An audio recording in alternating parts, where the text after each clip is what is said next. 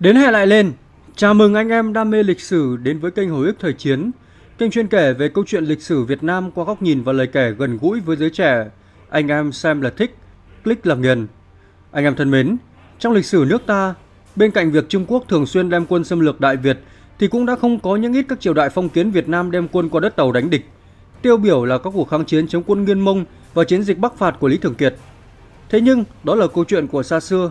Còn ở thời hiện đại, rất ít người biết được rằng thậm chí quân đội nhân dân Việt Nam cũng đã từng tiến sang đất tàu để thực hiện hàng chục chiến dịch quân sự lớn vào năm 1949. Vậy tại sao nước Việt Nam Dân Chủ Cộng Hòa lại đem quân qua lãnh thổ Trung Quốc? Liệu có phải chúng ta đi xâm lược Trung Quốc hay không? Chiến dịch này thành công hay thất bại? Anh em hãy cùng tôi đi tìm hiểu ngay trong video ngày hôm nay nhé. Anh em thân mến, ngày 1 tháng 10 năm 1949, nước Cộng hòa Nhân dân Trung Hoa ra đời, hoàn thành cuộc cách mạng dân tộc dân chủ nhân dân, tiến lên xây dựng chủ nghĩa xã hội. Trước đó gần một năm, Thủ tướng Châu Ân Lai đã cử đặc phái viên sang Việt Nam để đề nghị quân đội Việt Nam phối hợp chiến đấu, giúp đỡ giải phóng quân đội nhân dân Trung Hoa đánh quân tưởng để giải phóng Phu Ung, Long, Khâm, nay là vùng biên giới hai tỉnh Quảng Tây và Vân Nam Trung Quốc.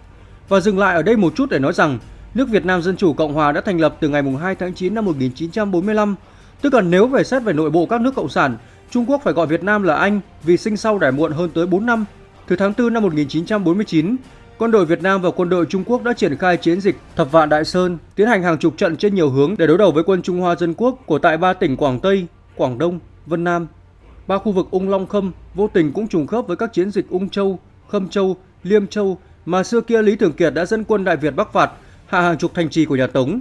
Ngày 23 tháng 4 năm 1949, được sự đề nghị của Đảng Cộng sản Trung Quốc, Đảng Cộng sản Việt Nam đã yêu cầu Bộ Tổng Tư lệnh Quốc gia Việt Nam từ năm 1950 chính thức đổi tên thành Quân đội Nhân dân Việt Nam, ra mệnh lệnh phối hợp với giải phóng quân Trung Quốc mở rộng khu giải phóng, tiến đánh tàu tưởng.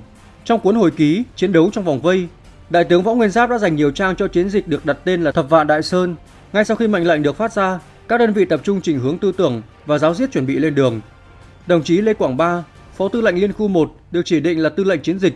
Đồng chí Trần Minh Giang, cán bộ của bạn làm chính trị ủy viên, khi quyết định giúp bạn mở chiến dịch Thập Vạn Đại Sơn, Bộ Tổng Tư lệnh hết sức quan tâm đến hình ảnh bộ đội Việt Nam.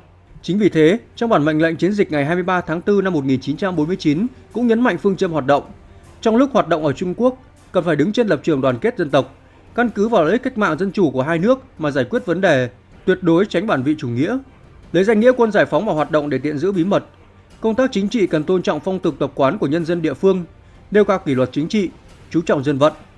Bộ đội ta ngày ấy viễn trinh chỉ mặc áo nâu, áo tràm và đội loại mũ đan được gọi là mũ mõm trâu, tức loại mũ mà phía vành mũ trước vành lên nên anh em đặt là mũ mõm trâu. Chính vì thế, quân bạn và nhân dân mới khen tặng giải phóng quân Việt Nam áo màu nâu, mũ mõm trâu, đánh phi tưởng ác liệt. Khi bộ đội Việt Nam về nước, bà con bịn dịn không nỡ rời, mang đồ ăn tới tiễn, làm đồ lưu niệm tới tặng. Bước vào chiến dịch, bộ đội Việt Nam chia thành hai hướng, vượt biên sang hội quân cùng bạn tại khu vực Long Châu của tỉnh Quảng Tây và khu vực Khâm Châu, phòng thành Quảng Đông, Trung Quốc. Từ làng bằng, cánh quân tham gia mặt trận Điền Quế vượt qua đường số 4 và các huyện lỵ của Lạng Sơn để đến biên giới. Nắng mùa hè như nung lửa, bộ đội phải hành quân tắt nắng, vượt qua những mỏm núi treo leo nhất để tránh tai mắt của địch. Đêm ngủ rừng, gặp mưa thì trú tạm dưới tán cây hoặc hốc núi thức chờ trời sáng. Tới những khu vực có đồn pháp chiếm đóng, cả đoàn chuyển sang đi đêm, ngày trú tạm trong các cánh rừng để tránh bị giặc phát hiện. Cứ âm thầm đi như thế cho đến khi đến chân núi Thập Vạn Đại Sơn, một hành trình vượt núi đầy trông gai trên nghìn trùng núi non hiểm trở và khí hậu vô cùng khắc nghiệt. Hai đêm ba ngày gian khổ còn vòn vẹn ký ức. Hết mưa lại nắng, hết không khí lạnh lại đến gió khô thổi ra từ muôn hướng. Quần áo khô rồi lại ướt, môi khô nẻ, mặt bạc gió xương. Dứt trận sốt rừng, lại phăm phăm tiến về phía trước. Ngàn bước vượt vách đá dựng đứng, ngàn bước lần xuống khe sâu hun hút suốt một tháng hành quân. Ngày 21 tháng 6, bộ đội Việt Nam đã tới được Bắc Lầu rồi tiến vào Phù Lùng, Nà Số, hội ngộ cùng quân bạn để bàn kế hoạch tác chiến. Phía mặt trận Long Châu do hướng từ Cao Bằng và Lạng Sơn qua khu vực Tà Lùng và Bằng Tường, địa hình tương đối bằng phẳng nên bộ đội hành quân đỡ vất vả hơn.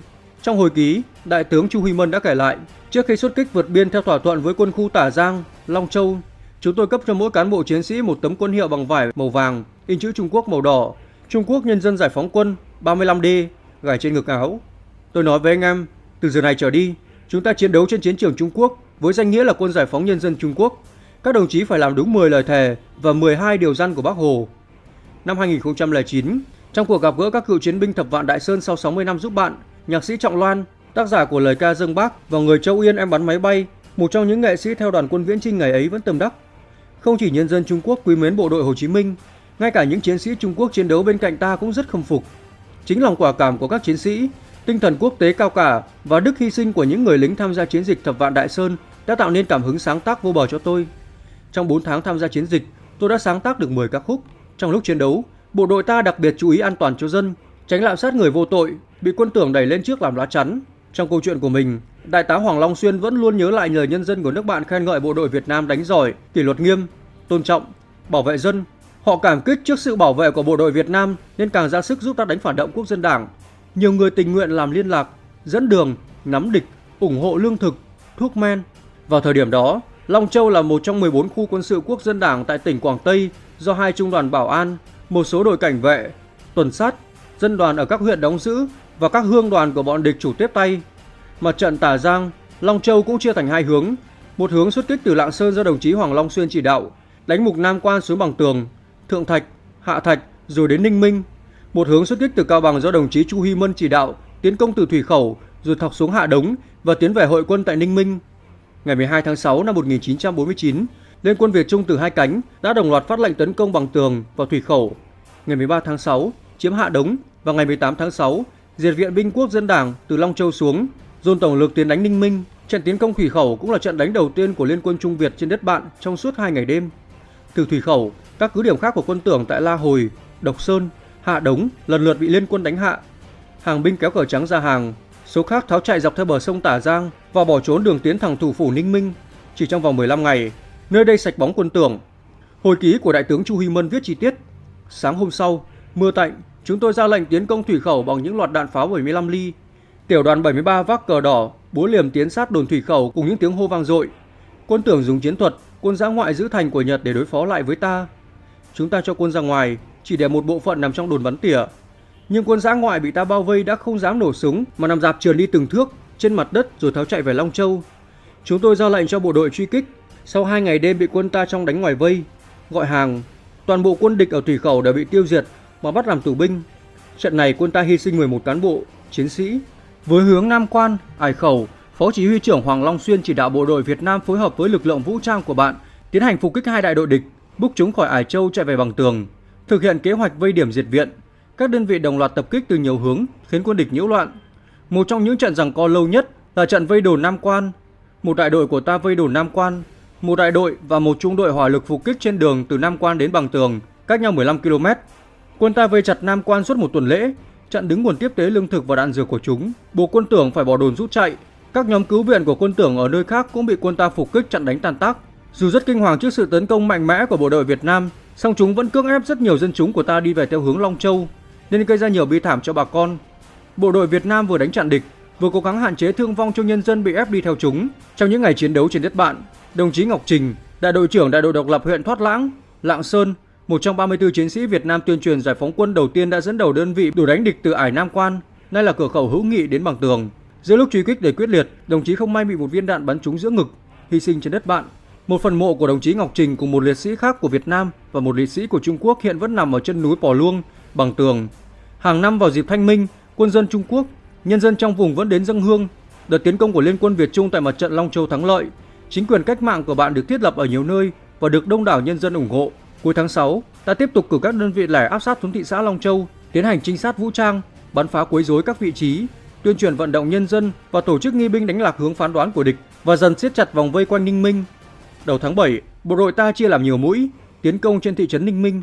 Quân địch ở đây lo sợ trước sức tấn công của quân ta, đã rút phần lớn lực lượng qua sông Kỳ Cùng sang Ninh Giang từ đêm hôm trước. Ngày 5 tháng 7 năm 1949, Bộ Tổng Tư lệnh chỉ thị kết thúc đợt hoạt động, rút quân về nước để nhận nhiệm vụ mới. Ở hướng Khâm Châu, sau khi vượt dãy Thập Vạn Đại Sơn, bộ đội ta nhanh chóng tiếp quản nhiều căn cứ của địch ở Khâm Châu và Phòng Thành do địch đã rút về cố thủ ở căn cứ Nà Lương, Đông Hưng và những khu vực giáp biển. con số của chúng có hơn 3 trung đoàn và hàng chục dân đoàn hương, một tổ chức vũ trang ở thôn xã của chính quyền quốc dân đảng. Khi đó, Bộ Tư lệnh quyết định tiến công Trúc Sơn, một thị trấn gần Đông Hưng, do ở đây có đường thủy thông ra biển. Đồng chí Nam Long, tư lệnh mà trọng phát lệnh tiến công vào đêm ngày 5 tháng 7. Ba cánh quân của ta nổ súng, tiến vào Trúc Sơn, địch bắn rào rào từ các lô cốt chặn đường tiến công của ta và chờ viện binh. Sau 5 ngày đêm bao vây, diệt viện, quân ta không đánh chiếm được căn cứ Trúc Sơn nên đã rút quân, nhưng liên quân đã kịp thời giải phóng được ba xã ở xung quanh phòng thành.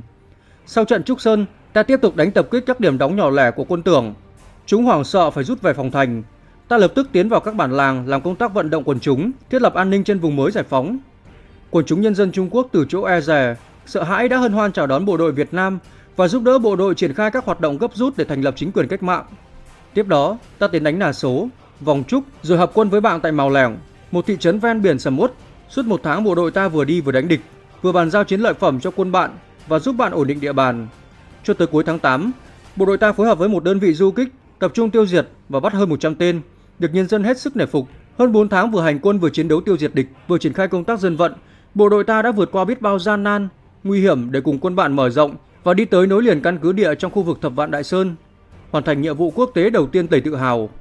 Cuối tháng 9 năm 1949, khi chính quyền cách mạng và lực lượng vũ trang của biên khu Điền Quế và Việt Quế đã được liên lạc với giải phóng quân Trung Quốc Nam Hạ, bộ đội ta được lệnh rút về.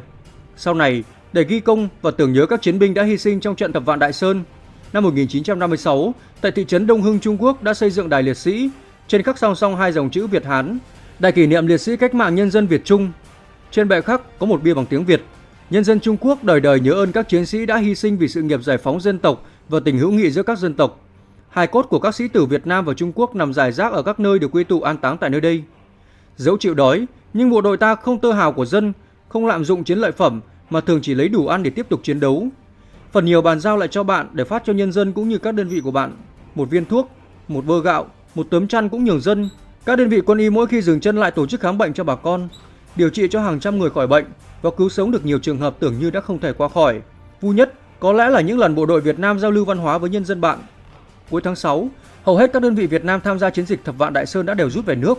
Lãnh đạo và nhân dân các nước thuộc vùng biên đều Quế và Việt Quế trang trọng tiễn biệt. Đồng chí Trần Phát, khu ủy viên địa khu Thập Vạn Đại Sơn rơi nước mắt, tiến chân bộ đội Việt Nam ra tận bờ sông Phù Lùng. Ông nắm chặt tay đồng chí Lê Quảng Ba, giọng nghẹn ngào. Cảm ơn các đồng chí Việt Nam đã phối hợp chiến đấu, đem mồ hôi, xương máu giúp chúng tôi trong những lúc khó khăn. Các đồng chí đã để lại những tấm gương sáng về tinh thần quốc tế. Cảm ơn cách mạng Việt Nam. Tuy còn bao nhiêu khó khăn trong sự nghiệp giải phóng dân tộc, cách mạng Việt Nam vẫn ghé vai, đỡ gánh cho cách mạng Trung Quốc, thật cao thượng. Anh em thân mến, mối quan hệ Việt Nam Trung Quốc đã từng có những thời điểm thủy chung, son sắt và ân tình đến như vậy. Tuy nhiên, càng ngày Bắc Kinh càng lộ rõ bộ mặt nham hiểm, hết lần này đến lần khác chơi xấu, can thiệp chuyện nội bộ hay thậm chí là xâm lược nước ta năm 1979. Người dân Việt Nam có câu bán anh em xa mua láng giềng gần, nhưng thật sự mà nói, người anh em Cuba ở ta cách xa nửa vòng trái đất thì lại tốt với Việt Nam gấp hàng trăm lần người ông láng giềng Trung Quốc xấu tính. Anh em nghĩ gì về thái độ và những việc làm của Trung Quốc đối với Việt Nam hiện nay, đặc biệt là tại Biển Đông? Theo mọi người, liệu có tin tưởng được Trung Quốc nữa hay không? Hãy cùng để lại ý kiến ở phần bình luận nhé. Video của chúng tôi đến đây là hết. Cảm ơn anh em đã ở lại theo dõi video đến phút cuối cùng. Nếu thích video của chúng tôi, anh em đừng quên nhấn nút like và đăng ký kênh để ủng hộ chúng mình nhiệt tình nhé. Xin chào và hẹn gặp lại anh em ở những video lần sau.